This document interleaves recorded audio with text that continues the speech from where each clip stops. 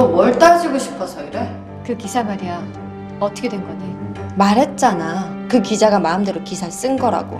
그게 말이 돼? 그 말이 날더러 믿으라고?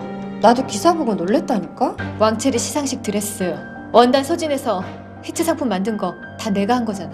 그게 왜 네가 한 걸로 기사가 나? 그러니까 그걸 왜 나한테 와서 따지냐고. 기자한테 가서 따지든가. 너 그렇게 네가 한 일을 생색내고 싶니? 지금 그런 말이 아니잖아.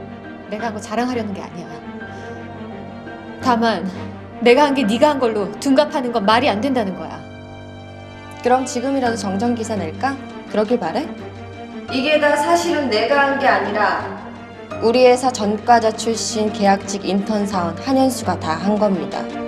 그럴까? 너 정말 원한다면 그렇게 할게. 세상에 널 떠벌리고 싶다면 그렇게 해. 너 왜 이렇게 잔인하니? 너야말로 왜 이렇게 시건방져? 너 회사에서 이런 일 비일비재해. 인턴 사원이 한 일 윗사람 업적되는 거 다반사라고. 뭐? 넌 처세라는 것도 모르니? 사회에서 살아남으려면 때로는 몸을 굽힐 줄도 바닥이 길 줄도 알아야지. 넌 아직도 배워야 할 게 참 많다.